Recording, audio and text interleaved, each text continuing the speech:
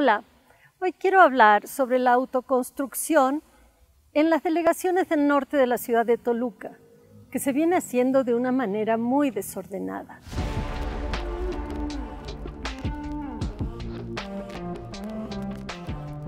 Quise recorrer el camino de los cipreses que recomendó el ingeniero, el doctor Ramírez de Alba, en una conferencia y entonces con unas amigas me di a la tarea de llegar a él. Curiosamente la policía montada nos recomendó no dejar el auto para que no fuera desmantelado y que no nos arriesgáramos a caminar porque nos podía ir mal. Consecuentemente solo fuimos a Santiago Tlachomulco a ver algunos cipreses en la parroquia y en el trayecto vimos cómo se venden terrenos, terrenos que son del Parque Estatal Sierra Morelos. A ojos vistas se está vendiendo un parque estatal.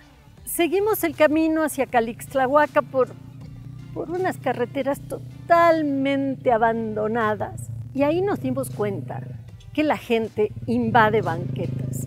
Ni hablar de cómo sube la mancha urbana en la delegación de San Marcos, donde también finca la gente en las banquetas, donde ya no hay calles, sino angostas vialidades por donde no cabría, por ejemplo, un camión de basura. Y nos dimos, sufrimos también eh, la agresividad del transporte público, que pasa a toda velocidad, de la manera más bruta que pueda existir y, nos asusta que esa sea la vida cotidiana de las delegaciones del norte de la ciudad. Mm. Yo creo que los delegados deben de empezar a sensibilizarse y a poderles decir a sus representados cómo fincar de una manera